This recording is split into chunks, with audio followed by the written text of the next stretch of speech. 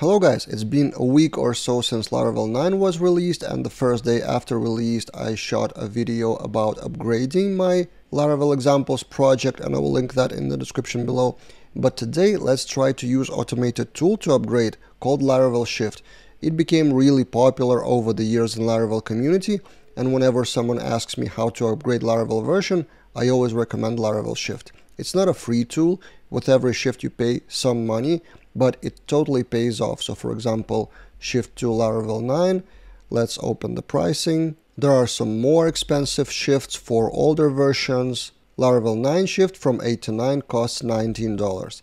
It may sound a lot, but if you count the time how much you would spend upgrading manually, it's an option. So in this video, I will try it out on the same project of laravelexamples.com, the same code base, it's a pretty small project and probably it's not worth paying $19 for smaller projects, but for the sake of demo on this video, I will spend that money and let's see what Laravel Shift suggests us because if we click Laravel 9 Learn More, it doesn't only upgrade the versions but also tries to suggest to make changes for the code base to adapt to Laravel 9 changes. So let's see what out of that big list will be applied to Laravel examples. For those who haven't seen Laravel examples, it's at laravelexamples.com. It's a really simple project to list various Laravel examples based on some tag, viewing the full example. So it's basically five-page project. One of the pages is the list of open source project, also filtered, but nothing really too fancy here. So let's upgrade that. And I've logged into my Laravel Shift just by signing in with my GitHub. So I click Run Shift, then I choose Laravel 9, Purchase. Then I need to add my GitHub, which I did already by signing in, and provide the repository. The repository and the branch, and what Laravel Shift will do, it will create a pull request to that branch with the suggested changes. It won't automatically update it for you because you will then review it manually, maybe you'll disagree with some changes, so you would have a choice what to accept or not. So, I provide the URL and the branch is called main. Let's see checkout and run and now it asks for my credit card number, which I will enter. Also, you can use PayPal here, but I will use credit card and let's see what the next result is. After I clicked purchase, I landed on this page and it shows the running status for my Laravel 9 shift for Laravel examples. And I will wait for a while until that status changes. What actually, it did already. So it took like a minute or so or something. Now let's click and we will land probably on a pull request. So here's the pull request made by Laravel Shift with 120 files changed. Quite a lot, especially if you compare with the earlier version of upgrade I showed you a week ago, which just composer JSON changes and upgrade. But probably Laravel Shift made a lot of suggestions to the code improvements and let's review them now in this video. So first the review of commits. There are 17 commits made by Laravel Shift. Everything is documented here, pretty self-explanatory. But then later Laravel Shift made a lot of comments on what has been done specifically. So for example, Laravel 9 moved resources lang to the lang folder to the top level then in Laravel 9, there was a change for array keys and validated. So I need to review those files. Basically, what Shift is doing is suggesting to review something manually. Then with this sign, which is important, probably warning, transition from Swift mailer to Symfony mailer. Then could not upgrade the following files because those are different from Laravel 9 version. So I need to review them manually as well and a few more warnings about env files. Variables like file system driver was renamed, then file system cloud was removed, token driver is not available, and a few more comments like anonymous migrations, loop variable, HTTP client. So a lot of those changes were made not in Laravel 9 directly, but during Laravel 8. So at Laravel 8.x, something was introduced or changed, and I didn't change that in the code because Laravel examples as a project was created when Laravel 8.40 I think was available, the latest version. So I need to review those manually. So these are just the comment. And then at the end, the final comment is congratulations, you are now running the latest version. So these are text-based comments. Now, what was changed in the code here? 120 files. Let's dive into that. Let's try to run through those. Not sure how quickly we can run through 120 files, but just let's go and see what happens. So this was renamed according to that comment in .env.example for the future use. Then, in comment where I update the open source project data via GitHub, all that was done by Laravel Shift was styling changes according to PSR standard probably. So this is not related to Laravel 9 at all. Also styling change, the order of use. This was probably removed in Laravel 9, but I didn't even notice that. Then, I remember that people were telling about those being added by default in Laravel 9, but I'm not sure I really need those variables if I didn't make them in Laravel 8.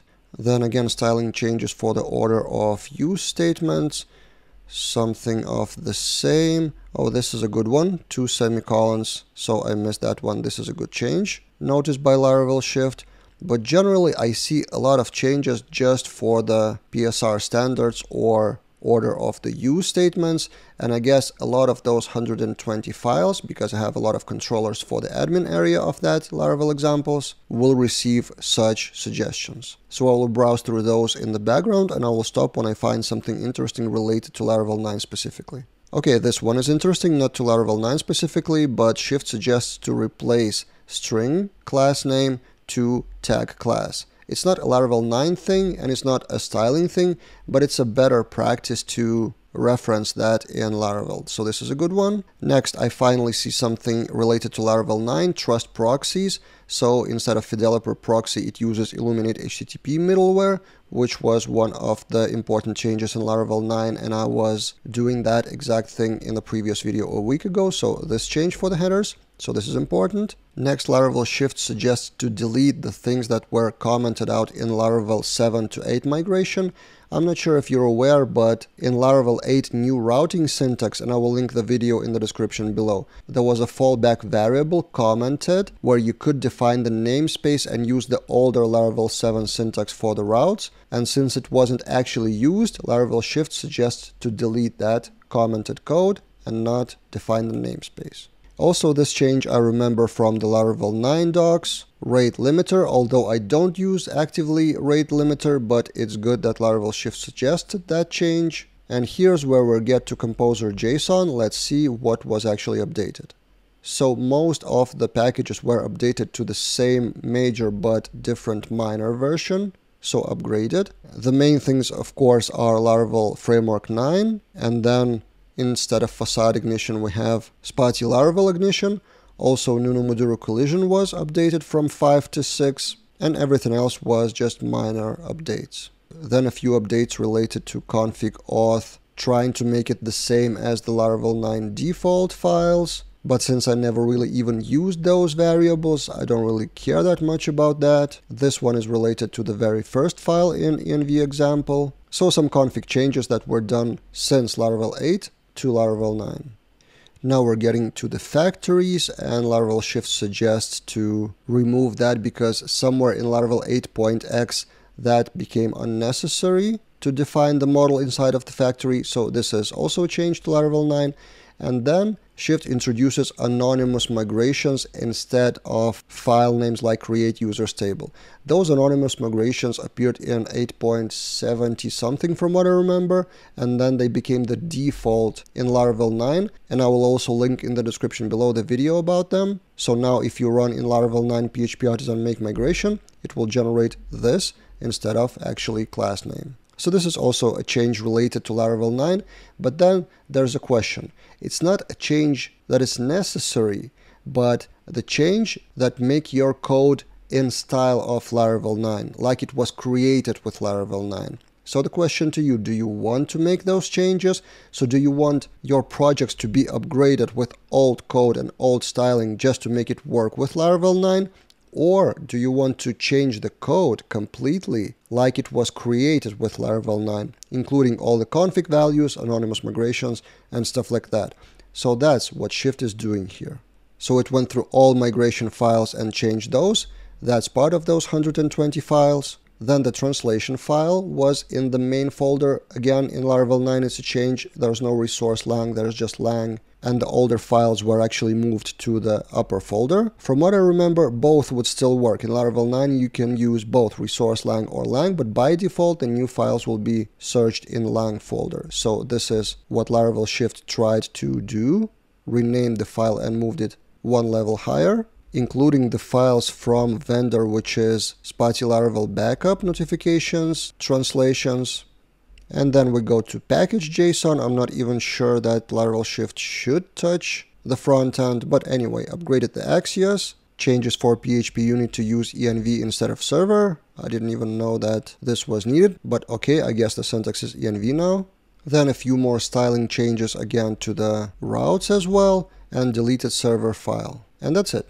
So now I have a choice whether to merge it all and run the latest Laravel 9 with Laravel 9 styles or review that branch and make necessary changes, accept something, reject something and pick it up manually or just ignore what Laravel Shift has done and just upgrade the easier way by just upgrading Composer JSON and testing if the older functionality still works after upgrading Composer. It will be much less changes but then some of those changes will not be in Laravel 9 style. So as you can see, that huge number of 120 files changed kind of makes sense because what Laravel Shift does is performing a lot of upgrades. For example, the migrations were like 30 files or something, then languages were 30 files or something, then a lot of styling changes, which were not directly related to Laravel 9, but still important and then the syntax configuration and env changes which are not that visible and you wouldn't even notice them probably if you don't work specifically with those areas and functions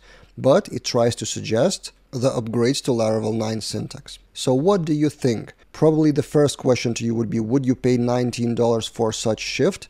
And the second question, would you accept all the changes that I've run through in that GitHub pull request? Interestingly, for those who want to upgrade from older versions from before 8 to 9, for example, you need to do it version by version. If you want to use Laravel Shift, you need to purchase, for example, if you're on Laravel 6, you need to purchase Shift to 7, then merge that, then purchase shift from 7 to 8, then merge that, and then from 8 to 9 and merge that.